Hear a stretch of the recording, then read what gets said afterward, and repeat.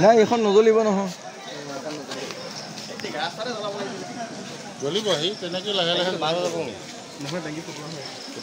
এই এই এই- এই মুহূৰ্তত মই উপস্থিত আছোঁ মৰিগাঁও জিলাৰ আহ, আহঁতগুৰি অঞ্চলত। আৰু আহঁতগুৰি অঞ্চলত গৰু চোৰৰ যি উপদ্ৰৱে গৰু চোৰৰ উপদ্ৰৱৰ বাবে ইতিমধ্যে যি ৰাইজে বিগত কেইবামাহো ধৰি আচলতে যথেষ্ট আহ, দুশ্চিন্তাত আছিলে। কেইবাটাও গৰু চুৰ কৰিছিলে প্ৰায় কালি নিশাৰ ভাগত এনে ঘটনা সংঘটিত হয়।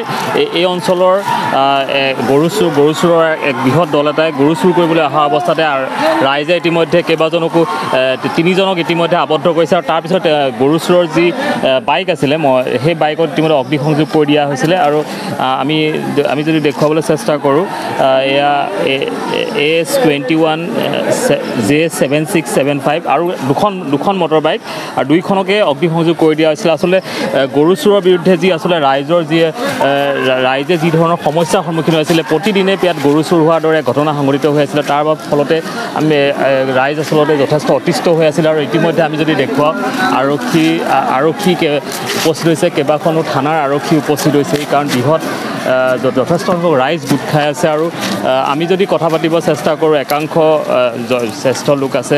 হয় গৰু চোৰৰ কাৰণে আপোনালোকে যথেষ্ট সমস্যাৰ সন্মুখীন হৈছে কি ক'ব কৰিব মানে সেই ৰাতি গৰু চোৰৰ কাৰণে ধৰিলে ৰাইজে ধৰি পেলাই বান্ধি মাৰি আছে সেইখিনিয়ে কথা।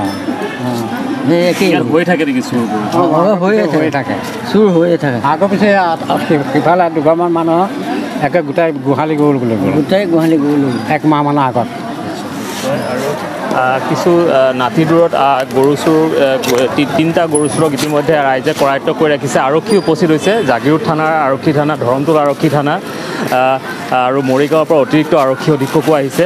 আৰু আমি যদি দেখুৱাবলৈ চেষ্টা কৰোঁ আম- যদি দেখুৱাবলৈ চেষ্টা কৰোঁ যে গৰু চোৰৰ যি মটৰ বাইক সেই মটৰ বাইক ইতিমধ্যে অগ্নিসংযোগ কৰি দিয়া হৈছিলে আৰু এয়া পোনপটীয়া দৃশ্য দুখনকৈ মটৰ চাইকেল আছিলে আৰু এখন বাহন লৈ আহিছিলে যিখন বাহনত গৰু লৈ যোৱা হৈছে আৰু ৰাইজৰ ৰাইজে এতিয়াও আবদ্ধ কৰি ৰাখিছে গৰু চোৰক। কাৰণ ৰাইজৰ দাবী যে গৰু চোৰে যি গৰু চুৰ কৰি লৈ গৈছিলে সেই গৰুসমূহ উদ্ধাৰ কৰাৰ ক্ষেত্ৰত আৰক্ষীয়ে ব্যৱস্থা ল'ব লাগে।